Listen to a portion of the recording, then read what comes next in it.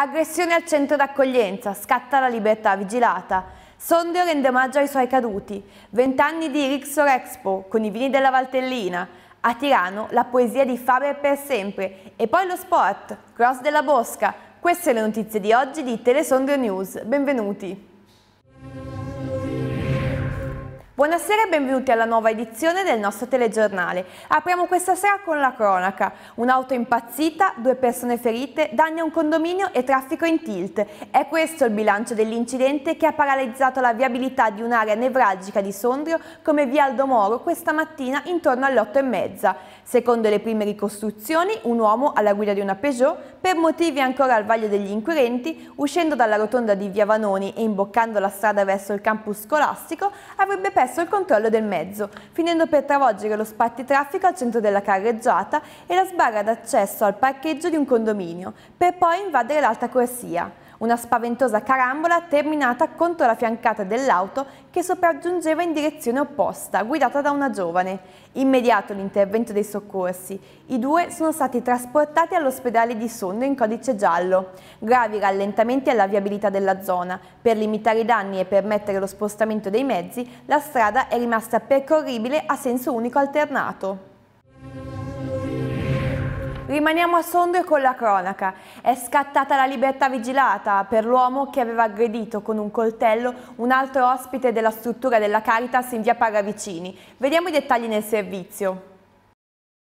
Libertà vigilata. Con questo epilogo si conclude la spinosa vicenda che ha preso il via il 24 gennaio scorso, dopo che era stata segnalata un'aggressione al centro d'accoglienza di via Paravicini a Sondrio, gestito dalla Fondazione Caritas Diocesana da parte di un giovane ospite affetto da disturbi psichici. Il ragazzo, armato di coltello, era stato fortunatamente fermato in tempo e si sarebbe poi allontanato autonomamente dalla residenza del centro storico dove trovano asilo italiani e stranieri in difficoltà. Accusato anche di altri episodi di violenza, il giovane, di origine nordafricana, ora vivrà in regime di libertà vigilata presso il Dipartimento di Salute Mentale di Sondrio, in attesa di individuare una collocazione più idonea alle sue condizioni psichiche. La spinosa questione era già stata affrontata ad alti livelli istituzionali nel corso di un incontro voluto dal prefetto per cercare una soluzione concordata con le altre autorità della provincia. La decisione pone così la parola fine a una vicenda alquanto travagliata, come travagliato è stato il destino del suo protagonista. In un primo momento, infatti, il soggetto era stato accompagnato da due pattuglie della Polizia di Stato presso una comunità psichiatrica della provincia di Como, dalla quale era riuscito ad allontanarsi rintracciato dalla polizia stradale di Como mentre vagava visibilmente disorientato lungo l'autostrada A9, era poi stato accompagnato presso la struttura nella nostra provincia.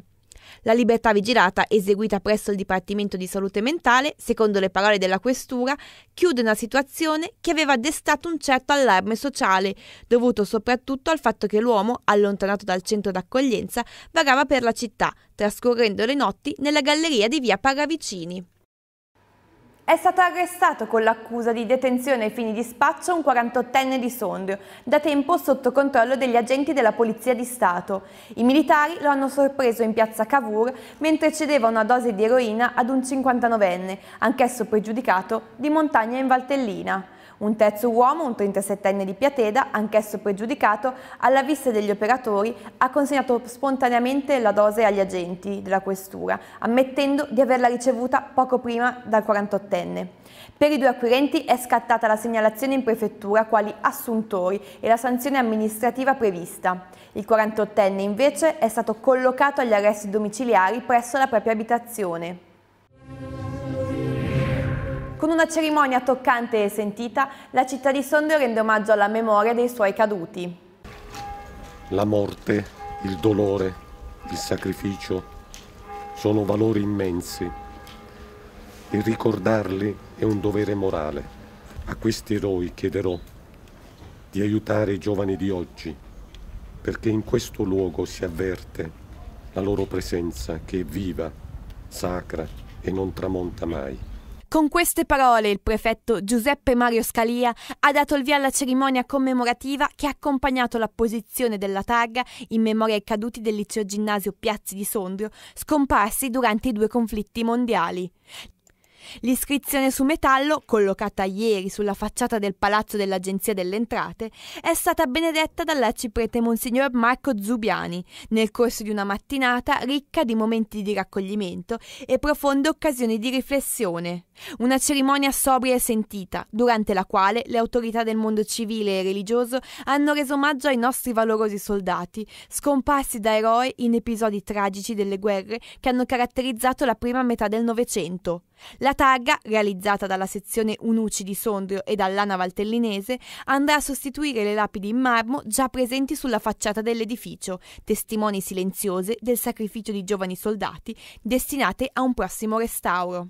Questa targa è stata, è stata messa in quanto le lapidi dove sono riportati i nomi dei caduti sono purtroppo da restaurare e noi per salvaguardare questa memoria di questi caduti abbiamo voluto proprio mettere una, una targa eh, in, in, chiaro che così in modo che tutti quelli che passano possono eh, vedere e ricordarci di questi caduti che hanno donato la loro vita per la, eh, per la patria. Il lavoro, questo è solo l'inizio, continuerà e cercheremo di di provvedere anche al restauro complessivo delle due lapidi in marmo che chiaramente sono monumenti storici e quindi necessitano di, eh, di lavori di ristrutturazione ma molto più attenti di quelli che possono essere quelli di una targa che comunque ha un valore storico molto importante. L'obiettivo è ambizioso. Dopo mezzo secolo di abbandono, l'amministrazione comunale di Piuro punta a recuperare l'utilizzo dei versanti di mezza costa, una volta coltivati a vigneto, per nuove attività agricole e forestali. Su questo tema si sono confrontati oggi l'assessore regionale all'agricoltura Gianni Fava e il sindaco del comune Chiavennasco Omar Iacomella, insieme all'assessore all'urbanistica e allo sviluppo territoriale Giorgio Succetti. Un progetto ambizioso per il rilancio di un'area a vocazione agricola tra le più significative nella produzione distintiva e di qualità, ha spiegato Fava. La riscoperta del chiavennasco come idea e la vocazione vitivinicola, insieme a una più efficace gestione del patrimonio forestale, sono due elementi importanti di sviluppo territoriale. A riguardo, in questi giorni stanno uscendo le misure PSR sulla forestazione e noi ci impegneremo affinché le risorse vengano allocate secondo le aspettative. Ristor Expo brinda ai 20 anni con l'eccellenza vinicola della Valtellina. Vediamo i dettagli nel servizio di Elisa Compagnoni. L'enogastronomia ancestrale è quella gastronomia fatta di profumi e sapori antichi, quelli spesso dimenticati, ma che hanno invece segnato la storia culinaria del nostro paese. Su questo leitmotiv Ristor Expo, la mostra per l'eccellenza del settore hotellerie, ristorazione e caffetteria presso l'Ario Fiere, ha deciso di celebrare i suoi primi vent'anni per riproporre un nuovo tipo di enogastronomia che possa fargli vivere le emozioni di un tempo che vanno al di là della materialità. Un appuntamento che va dal 12 al 15 febbraio, a cui il Consorzio Tutela Vini Valtellina Valchiavenna, capitanato da Mammete Prevostini, ha deciso di aderire ormai da 5 anni. Si tratta di una collaborazione importante che permette di far conoscere il nostro rosso oltre i confini nazionali. Noi abbiamo bisogno di sdoganare una, diciamo una, una, un modo di dire che la, il vino della Valtellina si beve solo quando si va in Valtellina o accompagnato ai piatti valtellinesi. Il vino valtellinese può essere accompagnato a qualsiasi cosa, può essere bevuto in qualsiasi parte e in qualsiasi stagione. Un connubio a cui ora non sa più rinunciare nemmeno la fiera Lariana, presieduta da Giovanni Ciceri, che in sinergia con Confcommercio e FIPE, la Federazione Italiana Pubblici Esercizi, che riesce a combinare in maniera sapiente la funzione di vetrina e promozione per gli espositori, quest'anno 200, fra cui 20 case vitivinicole valtellinesi, a quella dell'edutainment, che vede all'opera noti chef ed iniziative collaterali che permettono di tracciare le tendenze del settore. Non a caso ci sarà uno spazio dedicato ai giovani, tra cui vedremo impegnati in prima linea le promesse del settore Manuel Colombo, Davide Caranchini ed Alessandro Colombo, quest'ultimo alle prese con un antimburger ancestrale, un panino che rivive le tradizioni italiane ma anche valtellinesi, essendo di Segale. La sfida dunque è quella di rivolgersi alle nuove generazioni, anticipando il futuro. Ci sono anche, dei, come abbiamo già avuto in passato il Perù, quest'anno abbiamo la cucina peruviana, una nuova cucina ehm, che, che, pensiamo possa essere interessante sia come bacino ma anche come luogo dove, eh, per conoscere questa nuova realtà dal punto di vista enogastronomico. Eh, sicuramente eh, darà grandi soddisfazioni o comunque è grande motivo di curiosità anche perché ci saranno produttori della Polonia ma noi vorremmo anche che i nostri produttori vendessero in Polonia perché un mercato molto interessante, soprattutto per la Valtellina secondo noi. Un progetto di legge regionale che riconosca da una parte agli impianti di risalita la valenza di servizio pubblico locale e dall'altra possa consentire una suddivisione degli aspetti patrimoniali che dovrebbero rientrare nel novero di una gestione pubblica territoriale dalle dinamiche gestionali che devono essere in capo a soggetti privati. È questa la proposta lanciata dal sottosegretario Ugo Parolo presente all'incontro tenutosi ieri a Bormio con gli amministratori locali e gli operatori del settore sul tema del rilancio del sistema impiantistico impiantistico. Questo lavoro di studio, ha commentato Parolo, vuole costituire un prototipo che, nell'intenzione di Regione Lombardia, sarà da estendere a tutto il territorio regionale. La legge, di fatti, arriverà a dare una risposta di carattere generale all'intero sistema economico del settore. Le immortali poesie e musica di Fabrizio De André incantano a Tirano grazie a un omaggio particolarmente sentito. Più che un concerto, una medicina per l'anima, l'esibizione tributata a Fabrizio De André dai Faber per sempre, il gruppo musicale capitanato da Pier Michelatti, bassista storico dell'artista ligure, lo scorso sabato sul palco del Cinema Teatro Mignon di Tirano. Io mi chiamo Pasquale Cafiero, sono brigadiero del carcere Io mi chiamo Cafiero Pasquale, sto a Poggio Reale dal 53. Al centesimo catenaccio, alla sera mi sento una straccia, per fortuna che abbraccio speciale c'è un uomo geniale che parla con me. Circa vent'anni di condivisione, di collaborazione, di vita comune, narrati al numeroso pubblico in modo confidenziale, quasi intimo, a fare da contrappunto a una esecuzione musicale dai livelli davvero alti, che, ripercorrendo le differenti fasi artistico-musicali di De André, ha donato ai presenti le vibranti sensazioni di una reale performance del cantautore genovese. Quando salgo sul palco a, a riproporre Fabrizio, io godo. Cioè, e poi cioè, io sono naturalmente un nostalgico, proprio di natura. E so, quando sono questi pezzi ogni tanto penso a lui, e lui è stato per me come un fratello maggiore. Insomma. Se non era per lui molto probabilmente sarei stato un geometra fallito.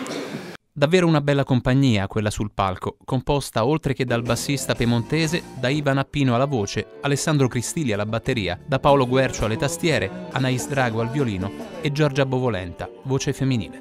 Ai nostri concerti troviamo gente di 70 anni, anche di più, e gente di 18. È bellissimo, è una roba... Fabrizio becca tutti, becca...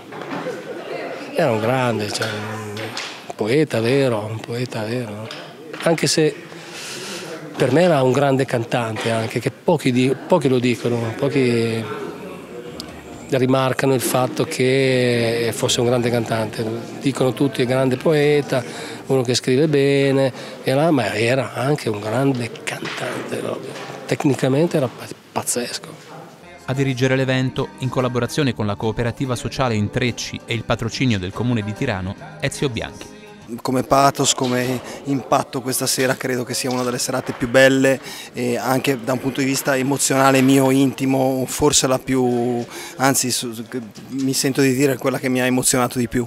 Quando ho, ho partecipato alla, alla registrazione dell'Indiana per me era tutto nuovo perché subito non mi ero accorto con chi sarei andato a collaborare, poi mi sono reso conto, ho detto porca miseria questo è un calibro e per me era tutto nuovo, avevo 22-23 anni e mi ricordo che la registrazione di quel disco c'è un'Ave Maria sarda, che è una roba da pelle d'oca, dove cantava anche Fabrizio, un coro simil sardo e quello mi ricordo quell'estate, per me è stata estate dell'82, mi ricordo Italia campione del mondo, campione del mondo vera, non come quella del 2006 ai rigori.